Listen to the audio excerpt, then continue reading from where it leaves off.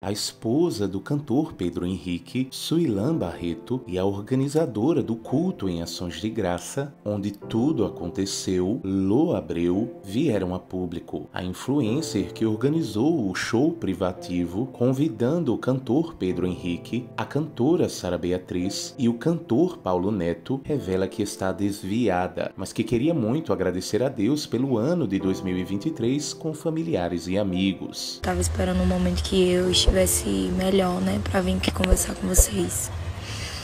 É, eu nem queria vir aqui agora, é, deixar para conversar amanhã ou depois, mas para tranquilizar o coração de alguns e deixar algumas coisas esclarecidas para outros, né? É, primeiro de tudo, meu coração tá doendo muito. Quem me acompanha aqui já há um tempo sabe o quanto eu admirava o trabalho de Pedro Henrique né? Como eu falei ontem para eles, quando eu entrei dentro do camarim, antes da apresentação de Pedro, eu entrei no camarim para poder falar, contar para eles o meu testemunho, quanto cada um deles fez parte da minha vida e da minha história, né? Então, Pedro Henrique fazia parte da minha história, os louvores dele tocavam muito a minha vida, né? E eu contei isso para ele antes dele subir no palco. E eu queria esclarecer para algumas pessoas que estão começando a me seguir que infelizmente eu não sou cristã, tá? É, eu fui criada assim na igreja, mas nesse atual momento eu não sou cristã. Né? Eu tenho um temor muito grande a Deus, todo mundo que me acompanha aqui sabe. E o intuito do culto ontem era agradecer a Deus, né? Como fizemos. O intuito não foi modificado, porque Deus tem um propósito para todas as coisas. Então era agradecer a Deus pelo ano. Né? Por mais que eu não sou uma pessoa da igreja, é, que eu não vou para a igreja, não tenho atividades na igreja, eu sou muito temente a Deus porque eu fui criada dessa forma, né? Sendo ensinada a ter temor a Deus. É, então eu organizei esse culto desde junho, né? Eu estava muito empolgada para esse culto acontecer. Né? Eu tô desviada, eu e meu esposo, nós fomos criados na igreja, sim temos um temor muito grande a Deus, né? E é por conta disso que Deus tem derramado tantas bênçãos em nossa vida, nossa, sobre nossa família, né? É a fatalidade que aconteceu ontem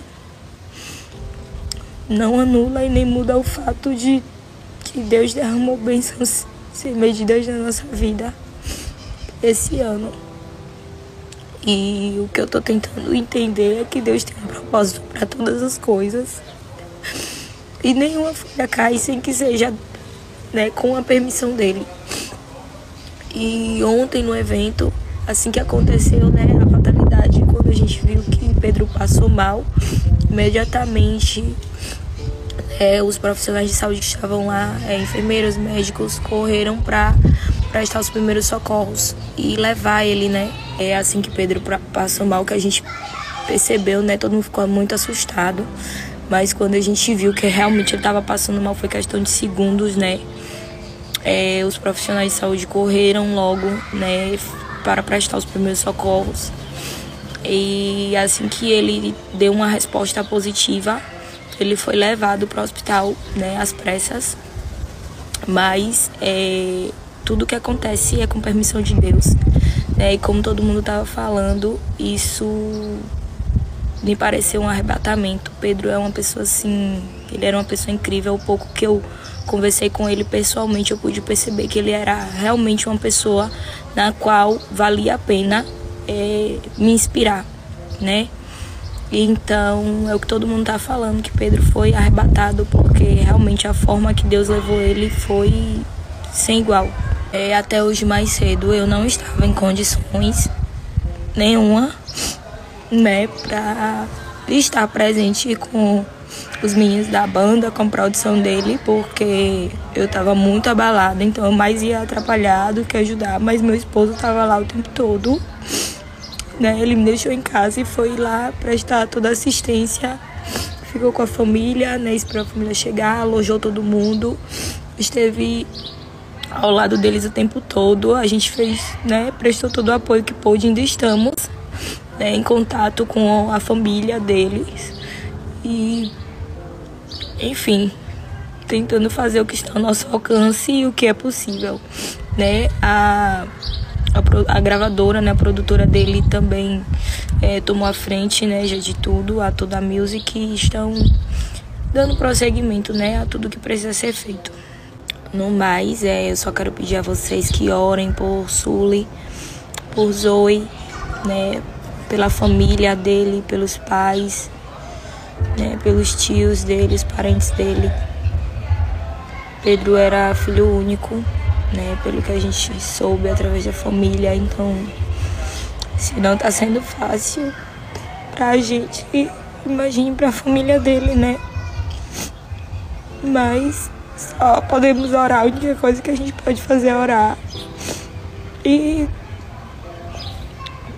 tentar não questionar Deus, só pensar que Deus tem algum propósito dentro de toda essa situação.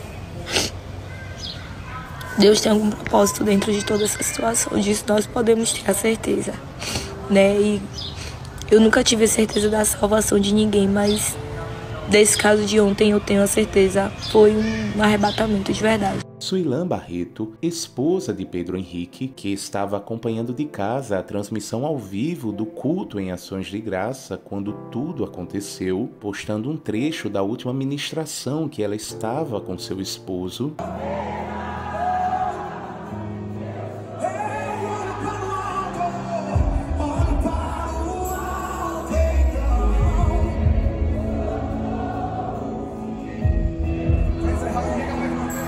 Ela escreve: Como eu te amo, meu amor. Essa foi a última vez que te vi ministrando. Tô aqui, meu amor, tentando escrever e, como sempre, faltando palavras. Cadê você para me ajudar? Cadê você? Ah, meu amor, como eu te amo e eu sempre te falei que eu amo mais. Cadê você? Cadê você? Queria você agora para te encher o saco para tomar café da manhã e você não tomar, mas queria encher o saco, só isso. Te acordar mesmo sabendo que você não iria levantar queria só isso nessa manhã. Zoe, filha do casal, que tem pouco mais de um mês de vida, nasceu de maneira prematura com apenas 33 semanas e 4 dias. Muitos passaram a falar que Deus permitiu que fosse assim para que Pedro Henrique pudesse conhecer sua filha antes de partir. Jéssica escreveu: Deus já tinha preparado tudo, antecipou o nascimento para que antes do arrebatamento ele conhecesse a tão esperada